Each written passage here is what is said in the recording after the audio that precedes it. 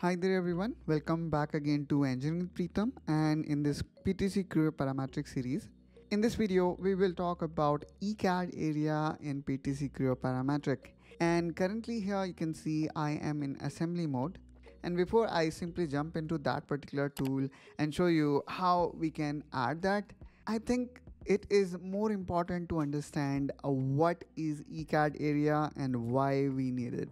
So let's not you know simply jump into the tool let's understand it first ECAD stands for Electronic Computer Aided Design and in PTC Creo, the ECAD area is a specialized region that defines the specific zone in your model for electronic component or PCB design.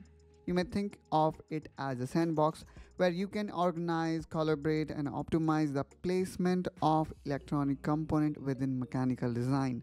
For example, this is the model part and here at certain location, uh, what I want is I want to place a certain electronic component. So here at certain place, for example, I would like to add electronic component. So that place I can define as ECAD area.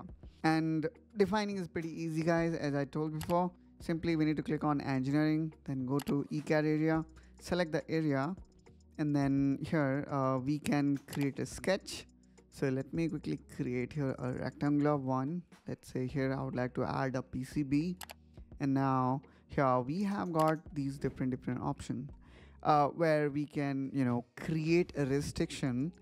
And as i mentioned before by creating this restriction uh, we are letting our mechanical designers know that here is the area where ecad or you know electronic cad members need to work on so this feature also I would say act as a bridge between MCAD or mechanical CAD and electronic CAD design words, ensuring seamless integration and fewer design conflict.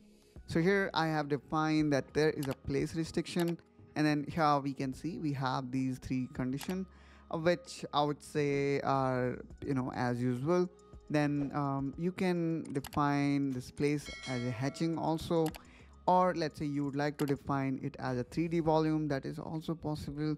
So you know you can see we have got all these different kind of permutation and combination available.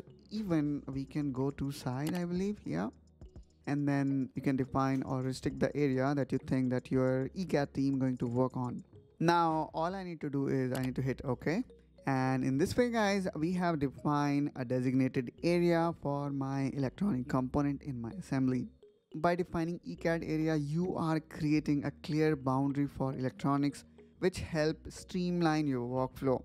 And I would say this is especially useful when your model or your assembly is full of electronic components. Now let me go back here to assembly mode and here in assembly mode also I can see uh, the designated area for electronic components. So in this way guys, by designating ECAD area, we can ensure that the electronic components do not interfere with mechanical parts which further minimize back and forth iteration between mechanical and electronic team, saving valuable time. And that's all guys from my side in this video. I hope that you find this video helpful and informational. If so, then please do like and subscribe to Engineering Pritam to follow complete PTC Creo parametric series as well as other engineering topics that we cover in this channel and I will see you soon with one such another video. Till then, you take care and bye-bye.